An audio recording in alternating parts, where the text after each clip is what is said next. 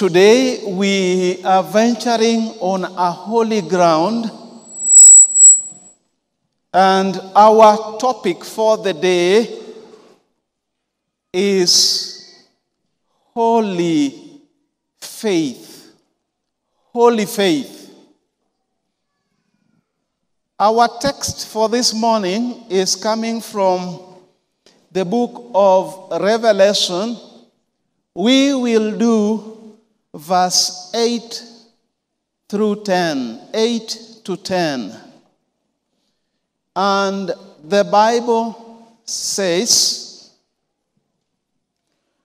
To the angel of the church of Smyrna, write,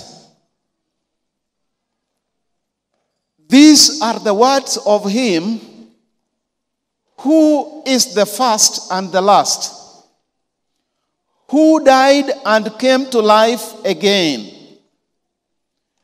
No, sorry, I know your afflictions and your poverty, yet you are rich. I know about the slander of those who say they are Jews and are not, but are a synagogue of Satan. Do not be afraid of what you are about to suffer. I tell you, the devil will put some of you in prison to test you, and you will suffer persecution for 10 days. Be faithful unto death, and I will give you a crown of life.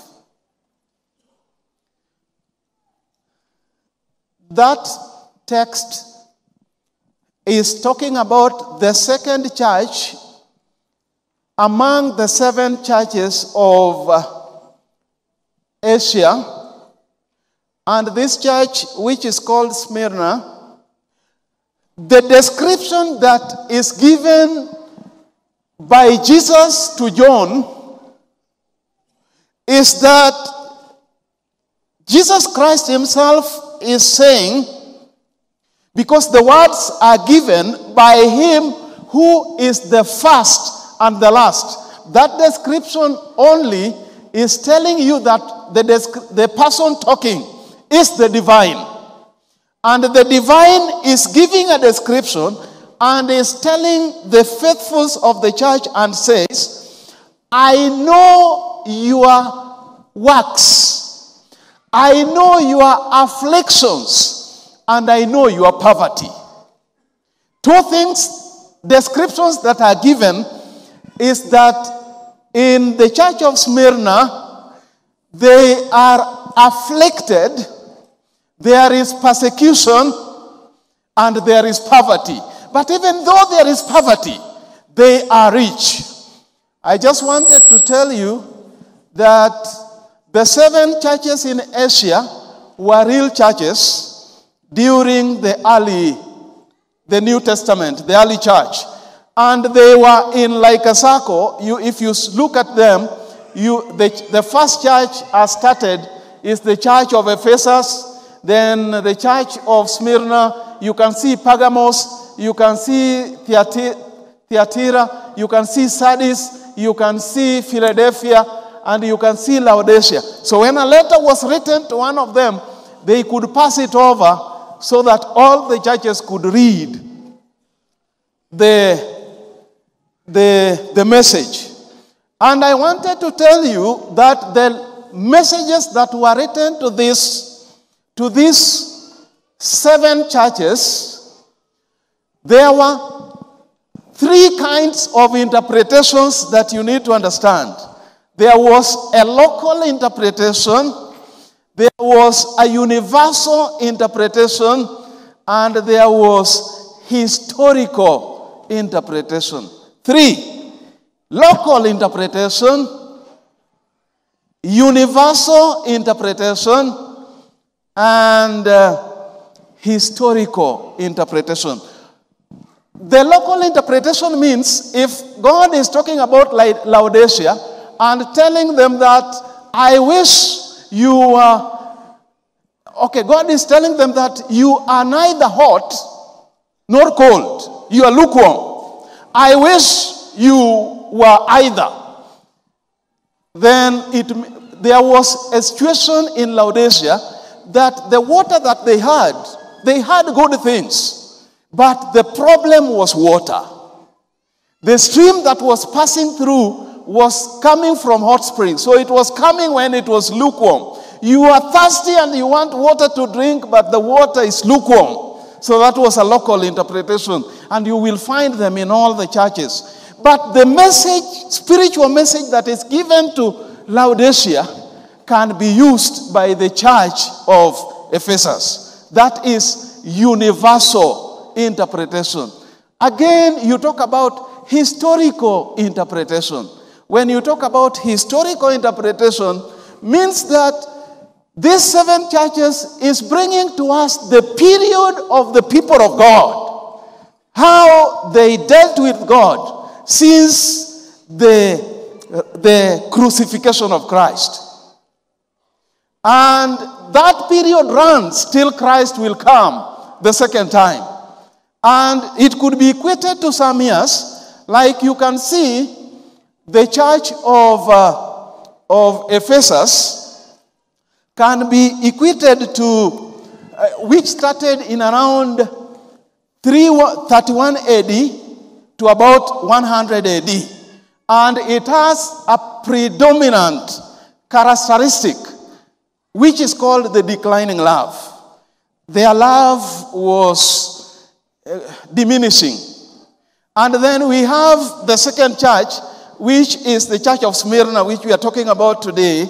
And the period was about 100 AD to 313 AD.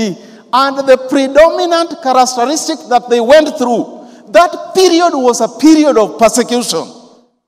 Another church, the third church, is the church of Pergamos. The church of Pergamos it was a period of entering into darkness. After persecution, things feel like it is easing, but there is a compromise. The church is united with the state.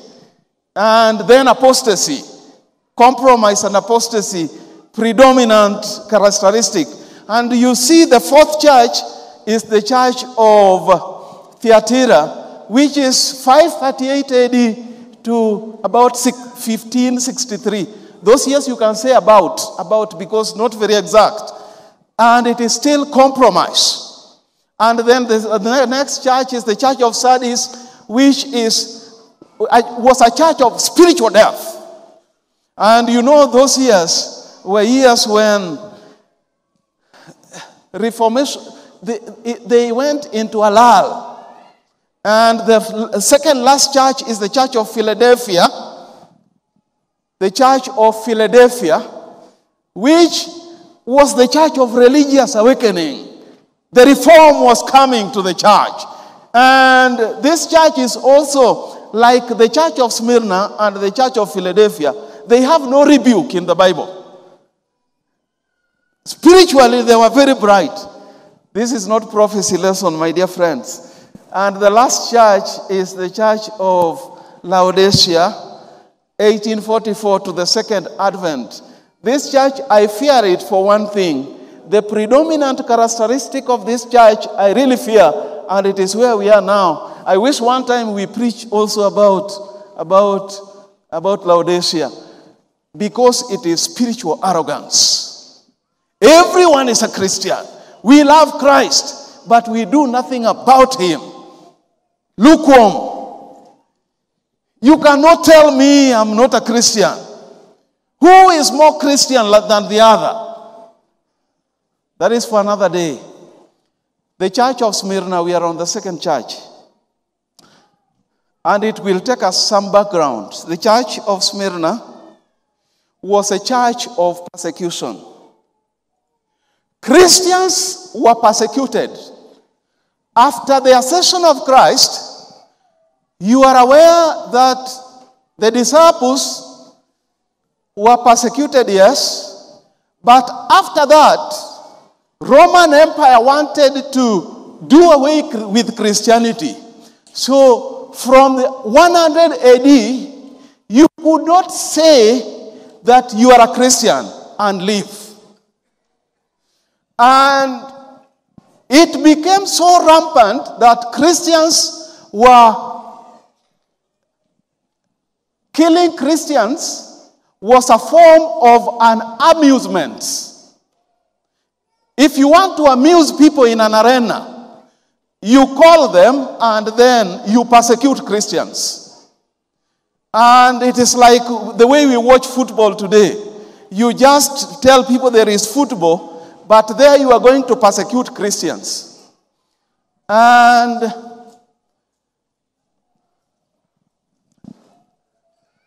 do you know, in the whole of that time, in all these churches, worshipping of idols was rampant.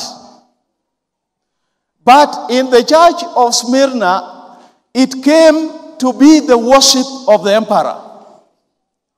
And you could not worship any other God before you worship the emperor. I hope you understand that. If you don't understand that, you won't get me. You may be allowed to worship any other God because it is polytheism. But you won't be accepted, it won't be accepted if you worship any other God. Before you worship, you do a sacrifice to the emperor. And the altar of sacrifice was in the city of Smyrna. Smyrna was a generally big city. Today, by that time, when the letter was written by John, Smyrna was having a population of about 100,000. Today, Smyrna is the third largest city in Turkey. It's, it is called Izmir, third largest city in Turkey. It is called Izmir. It has a population by the year 2020, it had a population of about 4.4 million. That was Smyrna. The center of worship of the emperor was in Smyrna. You could not go and sacrifice to any other god before you come to Smyrna to sacrifice, offer sacrifice to the emperor. And therefore, people who were Christians and never wanted to sacrifice, they were persecuted and they were killed. The major forms of killing which they invented were you are put on a bed having nails. So you lie on a bed and you are lying on nails and they prick as they enter. You could be whipped and until it reaches the veins. The veins are cut and arteries are cut, and then blood is let loose. And another way was to be put, hung on the cross. Another way was to take you to the theater at the arena where wild animals are, and the wild animals would kill you. And it is a form of amusement to the people who are watching you. Because of that, the church of Smyrna, Smyrna in verse number 9, Jesus is telling the church you know, John is talking to the church in, in 96 AD when he's writing, he's completing to write the book of Revelation. Because John the Revelator died in the year 96 AD. John the Revelator was persecuted seriously by a king, by an emperor, and was banished to Patmos until a new emperor I think Nerva came into power and released him, released all Christians who were put in prison. So Christ is telling us in verse 9 I know your afflictions and your poverty, but you are rich. Christians were persecuted, but Christ in the persecution is telling them, I know your afflictions. I know you are seemingly poor, but be of good cheer. You are rich. In the church of Smyrna, in verse number 10, the Bible is saying, Do not be afraid of what you are about to suffer. I tell you, the devil will put some of you into prison to test you. And you will suffer persecution for 10 days. You will suffer persecution for 10 days. In the whole of that period, 100 to 313, those are two, I think, 213 years, about 213 years. Christians suffered. But among, in between the period of the 213 years, Christ is telling the church, but you will suffer greatly for 10 days. By the year 165 BC, a martyr called Polycarp of Smyrna was killed on the 23rd, on the 23rd of, uh, still not yet on that yet, on the 23rd, on uh, February 23rd. But he was the 12th to be martyred. And there were series of martyrs. You can give the series to us so that we can be able to see. There were many martyrs. I have only selected a few like the Ignatius, like Polycarp of Smyrna, like Justin, like Plotinus and Lucius, and Perpetua and Felicitas have given the date there. 7th March 203, because we want to look at those two. Then we look at, at, at Polycarp of Smyrna. Origen of Alexandria, and many more. But the 12th was Polycarp of Smyrna, which we are going to look at after we have seen what happened to Perpetua and Felicitas. Perpetua was a girl who was recently married, a girl of 22 years and was recently married and was having a breastfeeding boy. She was captured with her slave called Felicitas, who was also pregnant. And they were put in prison for some days because they confessed to be Christians. Because of that, Felicitas was deeply hurt, feeling that she is in prison with a little boy who is breastfeeding. But there's nothing she could do. After some time, she got used to the, to the prison and was satisfied. But the father was very determined to tell her, at least to offer sacrifice to, to the emperor so that she can be released. So that one time the father went to him to plead with him and told her, Please accept and offer the sacrifice to the emperor. But she asked the father this question Father, this is a verse. I don't know whether my pronunciation you will understand. V A S E. Something to carry a flower, a vase. Then she asked the father, Can you call it by any other name apart from what it is? The father said, No. It is like asking, This is a speaker or a monitor. Can you call it by any other name than what it is? The father said, No. Then she said, I am also the same.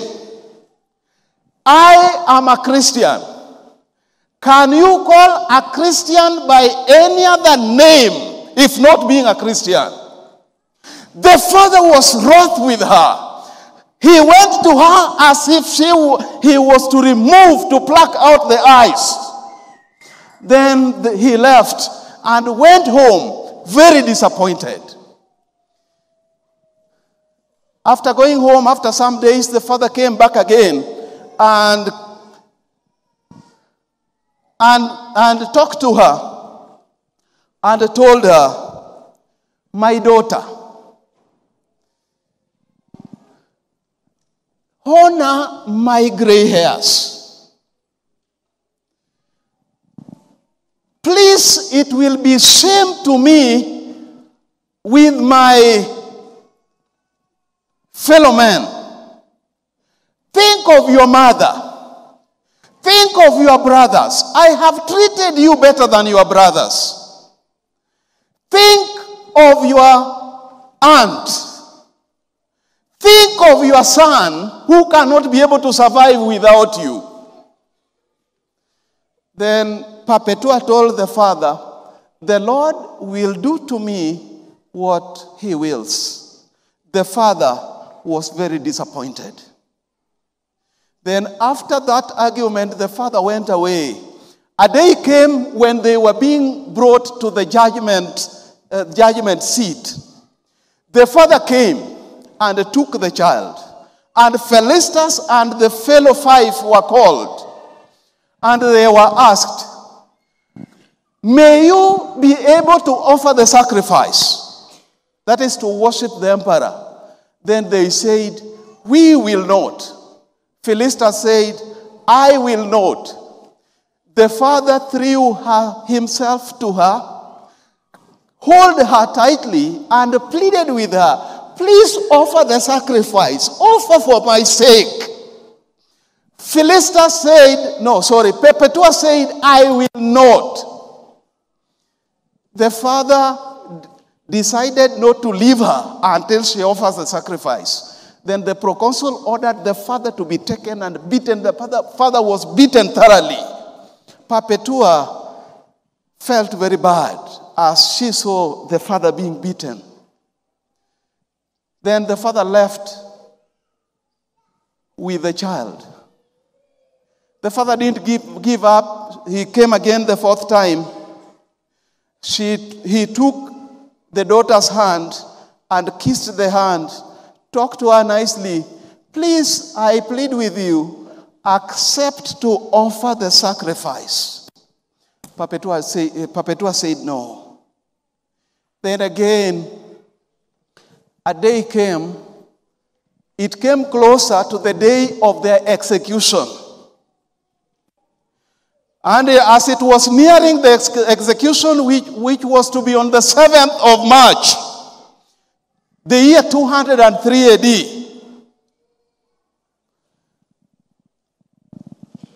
they felt that it was very painful for Felicitas, who was still pregnant, to remain without being killed when the others are being killed. Because they don't kill a woman with a child in the womb. So they felt that if Felicitas remain, a holy blood will be shed later with other criminals. Better the holy blood is shed with other holy people. So they felt it was bitter to them. And then Felicitas was feeling that I better also join in to my blood to be shed with my fellow believers. So on the 5th of March, two days to the execution day, they decided to pray.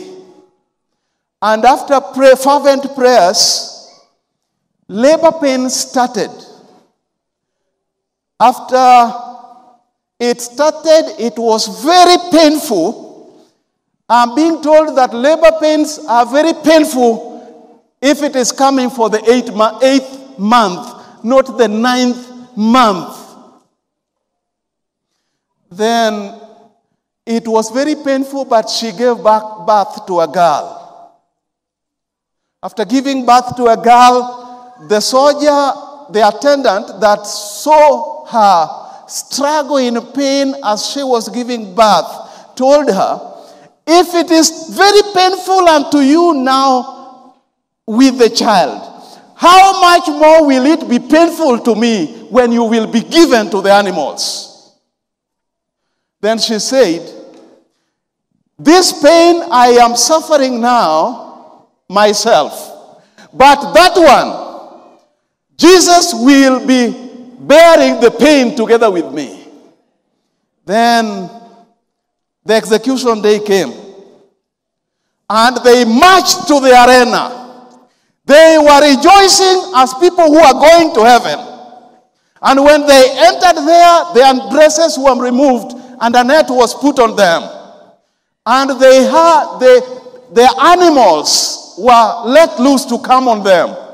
They had a man who was also called Saturus. Saturus. It is you, so I don't know the pronunciation well, but let me pronounce it like that. That. Saturus. And this man said, Me, I want to be tested with several animals. Bring the lion, bring the leopard, bring the, the bear. He dreaded the bear more than all other animals. A leopard came, other animals came, they did nothing to him. A wild, a wild boar was brought to him, only dragged him, but did nothing to him. But the one who was uh, releasing the wild boar was killed by it, was uh, injured by it, and died some few days later. But him, he was only, he was only bruised. Then later on, he was marched to the leopard. When the leopard came, he said, My death will be with the leopard. I know I'm going to the leopard and I will not come back. When the leopard came, the first bite, he was drenched into blood. And in the arena where people were watching, they said, well drenched, well drenched. You are drenched very well. They are pleased that he has been beaten by the, by the leopard. And then Saturus, when he was dying, where the wound was, he told the soldier, Remember me. Remember the faith but let this thing not traumatize you. Remember the faith. And again, when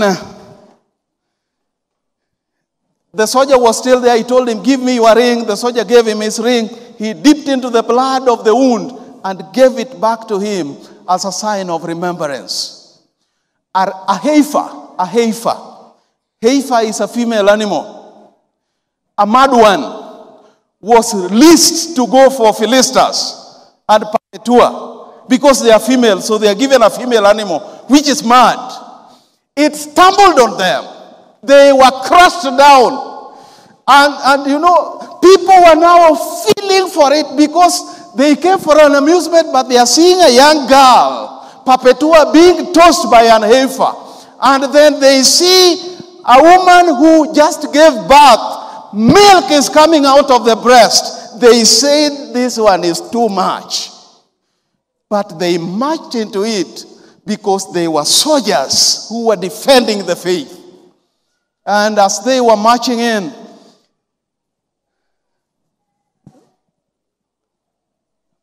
um, they were not killed by the heifer but badly injured. So they were to go for the sword so that their throats could be slit. Perpetua took the hand of the soldier and put the sword on her neck so that he can be killed. In the, the, the, our Savior Christ Jesus is telling the church of Smyrna, I know your afflictions, I know your poverty, but you are rich. You are going through afflictions, but you are rich. Because just being called a Christian was a problem. Nowadays, we are all called Christians. Spiritual arrogancy.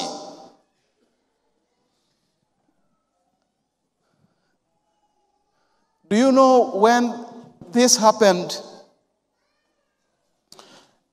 The Bible is talking about you will suffer for 10 days. 10 days in prophecy, a day means a year.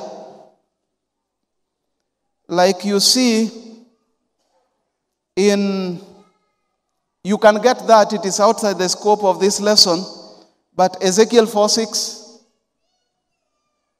and Numbers 1434 in prophecy, a day means a year, especially prophetic years in Daniel and Revelation.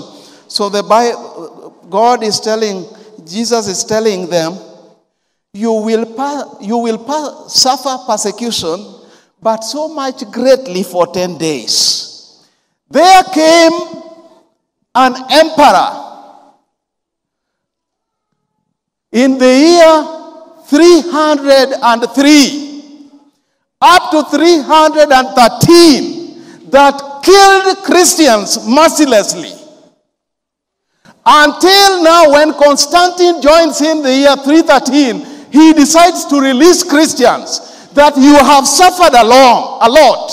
I want to make Christianity to be a state religion. And that was the marriage of the church and the government.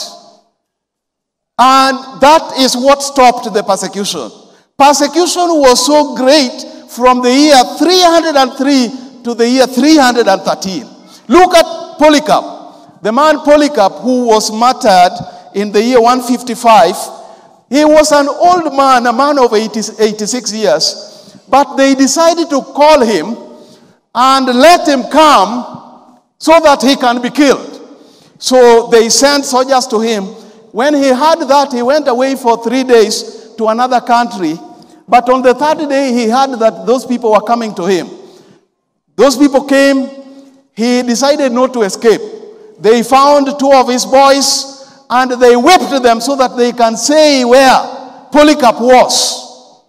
And Polycarp decided not to run away. So they came to Polycarp. They found him in, on an upper room Polycarp came down to meet them, greeted them, cheerfully greeted them. And then, after such greeting, most of them said, Why have we come to this old man to arrest him and this man of God? They were really asking themselves, Why have we come to this man of God?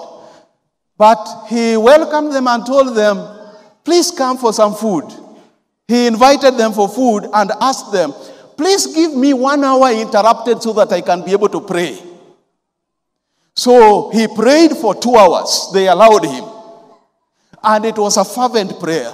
When he came down for the arrest, it was very painful to the soldiers seeing that they were taking the old man away. And do you know what happened? When he was taken away, he was brought to the council and the proconsul asked him just to know whether he was the Polycarp of Smyrna. Then he said yes. After he has said yes, and the proconsul has considered that is yes, he said like this. No, a voice came to heaven and to him, and a voice told him, Please be strong, and many other words. The proconsul asked him, whether he was Polycarp. On hearing that he was, he tried to persuade him to apostatize, saying, Have respect for your old age. Swear by the fortune of Caesar. Repent and say, Down with the deists. Swear, I, the proconsul. Reproach Christ, and I will free you. Then Polycarp answered and said, For 86 years I have served him and he has done me no wrong. For 86 years I have served Jesus Christ, and Jesus Christ has done me no wrong. Why must I reproach him? How can I blaspheme my king and my savior? That is what Polycarp said. By the way, if he was 86 then, and it is in 155. When you come back, you find that it, he was born in around, uh, he was about 30 years when John the Baptist was, was when John the, John, John, John the Revelator died. He was an apostle of John the Revelator. He, his faith had grown. So Polycarp said, for 86 years I have served my Savior. Why will I deny him today? Like me, let me not say my age, but I was baptized 37 years ago. I was baptized in 1987. So I can conf- confidently say, for 37 years have I served him. Why will I deny my king and my savior? And then they took him. The following one is he was told, I have wild animals here. The proconsul said, I will throw you to them if you do not repent. But he said, Call them. Polycarp replied, If you despite the animals, I will have you burned. Then Polycarp said, You threaten me with fire, which burns for an hour, and it is then quenched. But you know nothing of the fire of the coming judgment and eternal punishment reserved for the ungodly. Why are you waiting? Bring them. Bring on whatever you want. If you want to bring the animals, bring it. If you want to bring fire, bring it. The fire was lit. He removed his clothes. Then one person came to fix nail on him so that it can, he cannot run away when the fire is becoming hot and burning him. But he told him, Leave me as I am. For he that gives me strength to endure the fire will enable me not to struggle without the help of your nails. And he was burnt.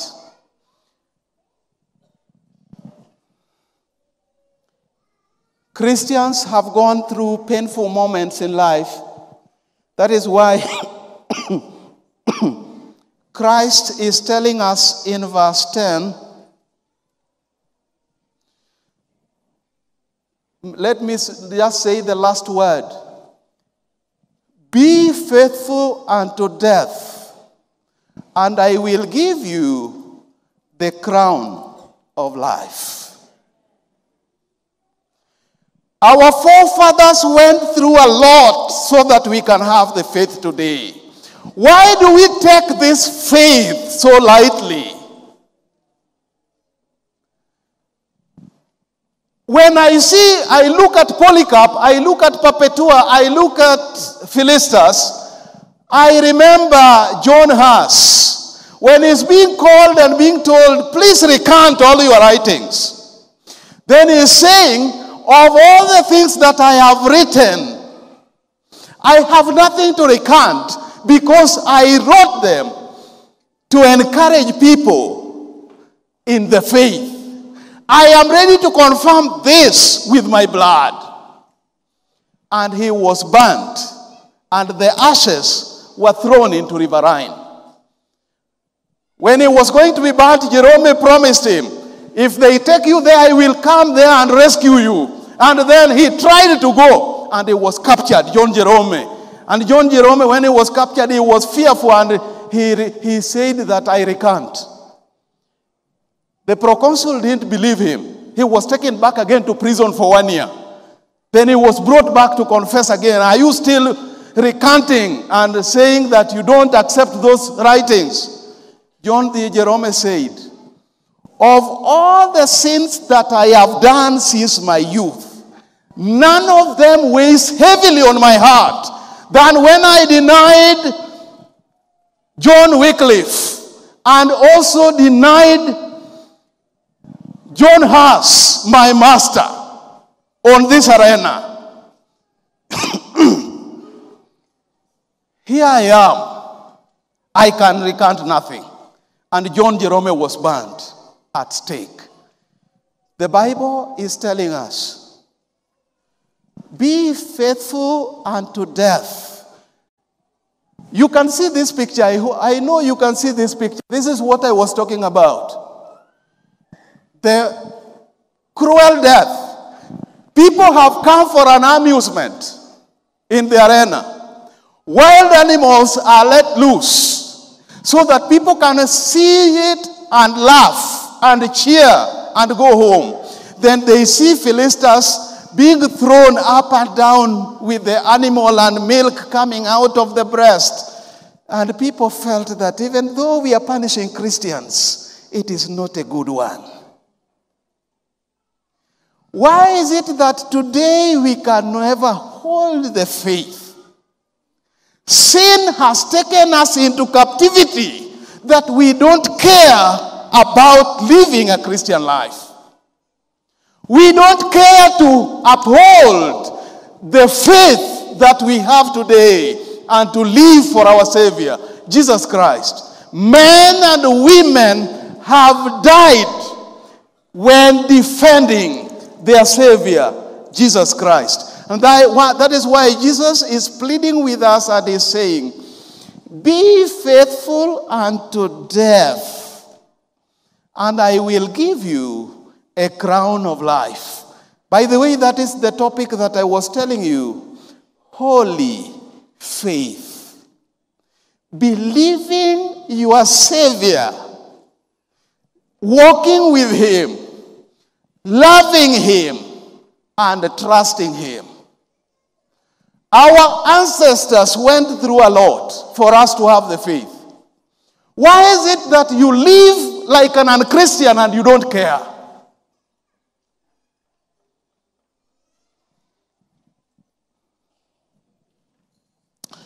That is why the writer of this song, 304, is talking about this thing to us and he's saying, hymn 304, and the writer is saying, faith of our fathers living still. That faith is still living. In spite of dungeon, fire, or sword. Oh, how our hearts beat high with joy. I love always stanza two of that song and it says, Our fathers, chained in prisons dark, were still in their conscience free. Our fathers were chained, but in their conscience, they were still free.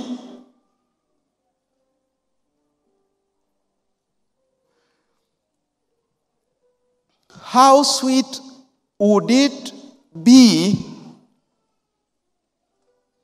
their children's fate. If them like, if they like them could die for the Savior. That statement is saying, what would be, how sweet would be our fate when us today, like our fathers, we would accept to die for Christ's sake. I plead with you to have this faith, to have a holy faith, to die for your Savior, to accept your Savior, to walk with Him, that Christ in the end may give us the crown of life.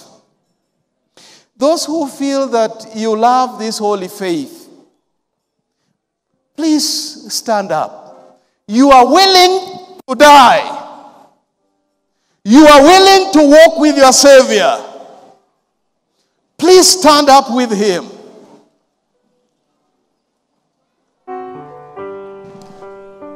As we sing song number 304.